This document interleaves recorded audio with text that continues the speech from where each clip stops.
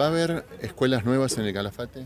Nosotros aquí en Calafate estuvimos recorriendo, vamos a tener próximamente una escuela técnica con orientación, es una escuela secundaria con orientación técnico-profesional que va a estar en Baldoco y vamos a iniciar también próximamente, ya hemos firmado el convenio con el ministro este, Persica hace muy poquito, de la construcción del edificio. ¿sí? Eso también va a tener una construcción, pero que va a tener eh, una ejecución de obra un poco más extensa, pero van a iniciar allí una nueva escuela y estamos programando y estuvimos recorriendo la construcción de un nuevo edificio de primaria aquí, que se necesita, creemos, en, la parte más alta de Calafate.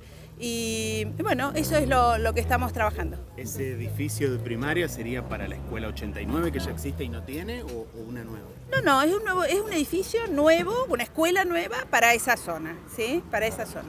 Pero hay una institución existente, que es la 89, eh, que no tiene, su propio edificio.